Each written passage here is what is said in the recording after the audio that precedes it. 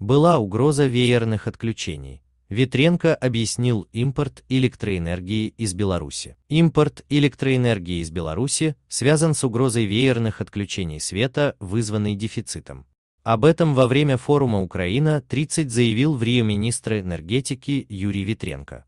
Он сказал, что против импорта Украины электроэнергии из России и Беларуси. Для этого, по его словам, нужно отъединяться от системы из РФ и Беларуси и присоединиться к европейской. У нас были холода, был дефицит электроэнергии. На полную мощность работали атомные блоки, угольные блоки, даже газовые блоки включили.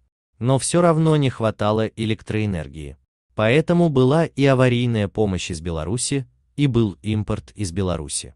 Мне это не нравится, но иначе была угроза веерных отключений, пояснил Ветренко. Он заверил, что это никоим образом негативно не влияет на работу украинской энергетики, она загружена на полную мощность.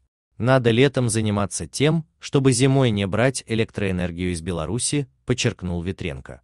Напомним, с 1 февраля Украина начала импорт электроэнергии из России. С января происходит импорт российского тока из Беларуси. При этом в Верховной Раде заявили, что импорт электроэнергии из РФ не приведет к энергетической зависимости Украины от Кремля. Как сообщала РБК Украина, Министр иностранных дел Дмитрий Кулеба заверил, что Украина полностью отрежется от российской и белорусской электросистем до 2023 года.